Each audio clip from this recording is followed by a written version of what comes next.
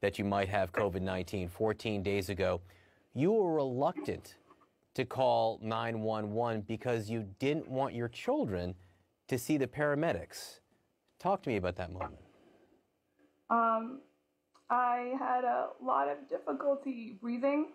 Sorry, um, I had a lot of difficulty breathing, and my daughter was sleeping nearby. My six year old son was nearby, and I couldn't catch my breath because I was drowning in my lungs and I was breathing faster. And I checked my home pulse ox, and it was down to almost 85 and I knew if I called 911 what EMT would want to do to somebody like me who was working this hard to breathe.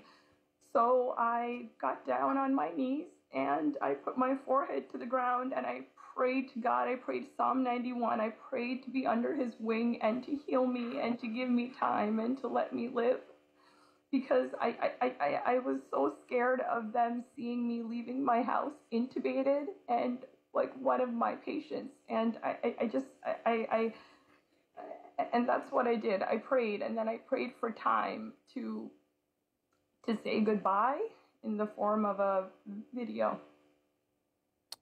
You made a video to say goodbye to your kids. Tell me about that.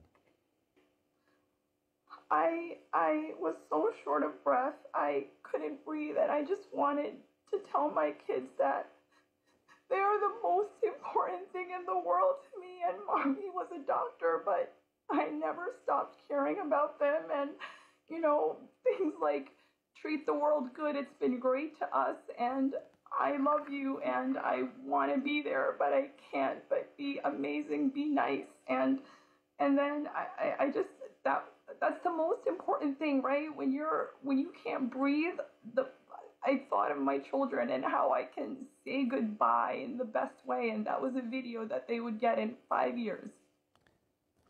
I suppose the nice thing is that you can give them that positive message about changing the world personally. Now, personally one month from now or one year from now as you are reco recovering, which is a blessing. And, and we're all so thankful for that.